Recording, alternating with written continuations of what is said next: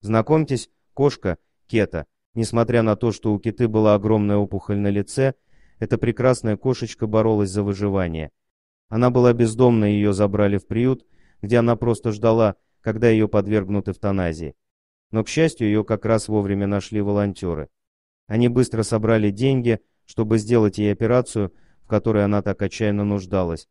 Несмотря на свою шокирующую внешность, Кета, кошка, полная энергии, обладающая огромным аппетитом.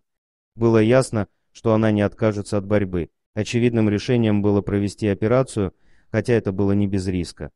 Добровольцы были очень обеспокоены тем, что после удаления гигантской опухоли она больше не сможет нормально видеть или есть.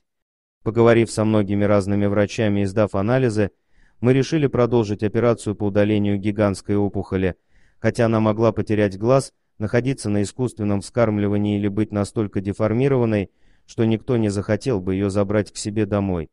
Хирургу, доктору Томасу Ингернуса, удалось избежать возможных осложнений и успешно удалить опухоль. Кета добилась невероятного выздоровления, в это даже никто не верил, но многие надеялись. После операции ее кожа начала подтягиваться, появился аппетит. И теперь она живет так же, как и любой другой питомец.